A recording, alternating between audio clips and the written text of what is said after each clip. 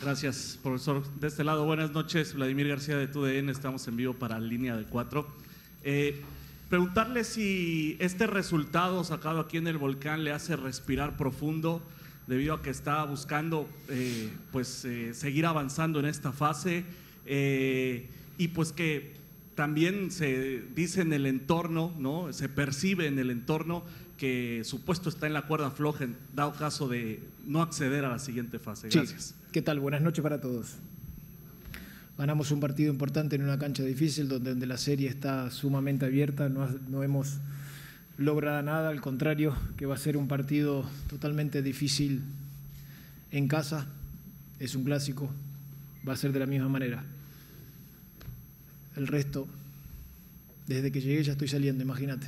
Entonces, me enfoco en el partido de vuelta el domingo, que va a ser un lindo partido también. De nada. Vamos con Aarón y después Jaime Mar, por favor. ¿Qué tal, profe? Por acá, Aarón Hernández de, Canal 6 Deportes. ¿Se imaginaba este escenario? ¿Se imaginaba traerse esta victoria de, este primer capítulo de los cuartos de final? Y si me permiten una segunda, ¿ya hay algún este, diagnóstico sobre Sergio Canales? Porque lo que tuvo que abandonar. Buenas noches. Eh, tal cual lo vieron ustedes, tal cual iba a ser el partido de hoy. El partido de vuelta también va a ser de la misma manera, con esa intensidad. Si yo esperaba este resultado, sí, mi equipo ha hecho los méritos suficientes como para poder llevarse un resultado. Eh, ellos, los chicos sabían y entendían lo que significa jugar un clásico, lo jugaron de tal manera, se los dije recién. Nada está cerrado, si no salimos con la misma actitud el día del domingo, no vamos a pasar la serie. Y con respecto a Sergio Calambres. ¿Qué tal, profe? De este lado, buenas noches. Jaime Mar para Cancha del Norte. Profe, hace un año, al inicio de su gestión, decía que Rayados iba a tener que aprender a sufrir, sus jugadores, su defensa, sobre todo por el tema tan ofensivo. Hoy puede decir que ya Rayados sabe sufrir, que la afición sabe sufrir, y una más relacionada al mismo tema, ¿Tendrá que sufrir rayados para el domingo o siente que puede ser un partido más controlable con, el resultado de hoy? Sí, buenas noches Jaime. Con respecto a sufrir, obviamente de la forma que a mí me gusta jugar, a veces he quedado muy expuesto. Esa era la explicación que yo siempre di cuando íbamos a sufrir. Eh, el día domingo va a ser de la misma manera. Es un clásico donde una pequeña ventaja deportiva nos favorece, pero no, no, nada está cerrado. Al contrario, veo una serie muy abierta donde hay muchísimos jugadores de jerarquía que pueden cambiar el ritmo de juego en cualquier momento.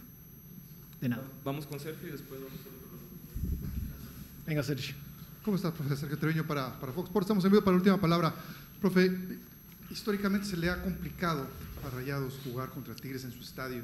¿Qué decirle? ¿Qué decirle al vestidor, teniendo la ventaja, por supuesto, jugando en casa, pero evitar eso, eso que ha sucedido en un pasado en donde se les complican los, los Sí, Sergio. Eh, buenas noches. Le dije lo mismo apenas terminó el partido. Si nosotros salimos con la misma intensidad, actitud de querer demostrar y ganar la serie contra nuestro máximo rival, tiene que ser de la misma manera. Esto es así. Si nosotros pensamos que la serie ya está finalizada y pasamos a semi, vamos a cometer un error muy grave. Hoy creo que el equipo fue muy inteligente, muy agresivo, si bien eh, pudimos llevarnos un marcador más amplio, creo que es una ventaja que el día del domingo con nuestra casa y con nuestra gente la tiene que hacer pesar. De nada. Gracias. ¿Qué tal, profesor? Buenas noches. Buen día. Oscar eh, de ESPN. Eh, profesor, platíquenos un poco qué se mencionó en el vestidor de Rayados después de la eliminación ante Columbus en CONCACAF, porque el mensaje está claro, ¿no? Defender la divisa. Hoy me parece que Monterrey ante Tigres en el volcán fue diferente, fue aguerrido, peleó cualquier balón, escondió los balones, inclusive profesor, platíquenos un poco cómo levantó al grupo después del fracaso internacional para vencer a Tigres en el volcán y un mensaje para los demás en Liguilla, por supuesto. Sí, buenas noches, Oscar.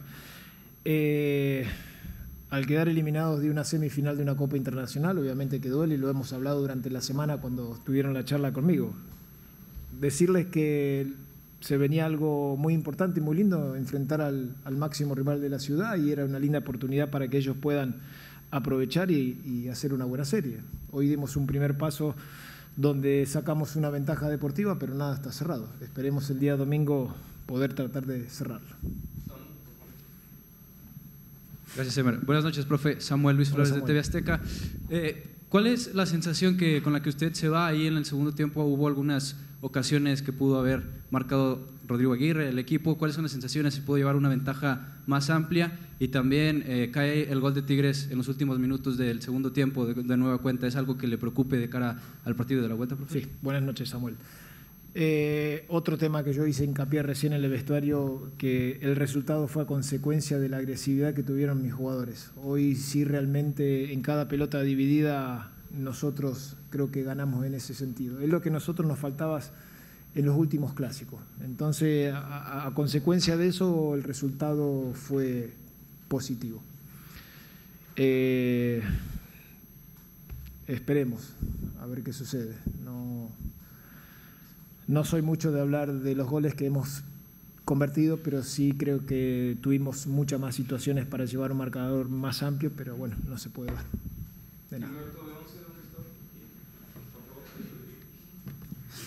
Hola, profesor. Buenas noches. Gilberto, Balón para Once Gracias. ¿Viene usted? Está muy lejos hoy.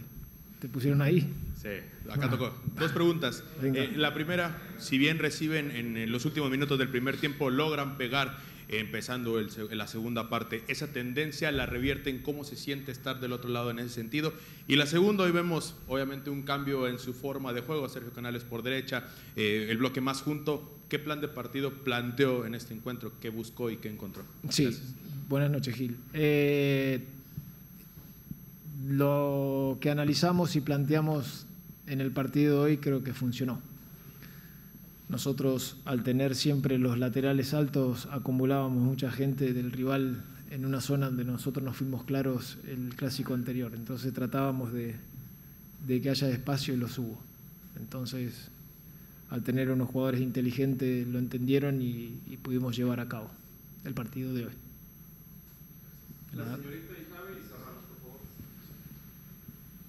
Hola, profe Ashley González de TV Azteca.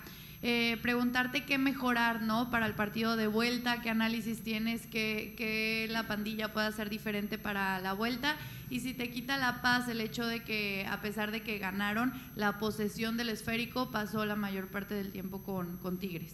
Sí, buenas noches. Eh, siempre hay que corregir, siempre hay que mejorar, siempre hay trabajos para nosotros los entrenadores en seguir mejorando. Eh, sí, Tigre tuvo mayor posición del balón. Eh, es algo que a lo mejor quizás lo teníamos pensado para poder encontrar esos espacios, funcionó. Y bueno, esperaremos, analicemos el día de, hoy el partido para ver qué podemos hacer el día domingo. Gracias. ¿Qué tal, Fer? Buenas noches. Eh, ¿Consideras que Monterrey retomó por el lapso del partido el buen fútbol que lo había caracterizado en las primeras jornadas?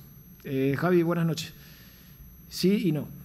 A mi modo de verlo, saben que el análisis rápido no lo puedo hacer porque tengo muchas cosas en mi cabeza, pero por momentos sí tuvimos, por momentos no, pero lo jugamos de tal manera. Un clásico de la forma que lo jugamos me queda muy satisfecho. Gracias a Tigres y gracias a todos. Muchas gracias, buenas noches y nos vemos el domingo.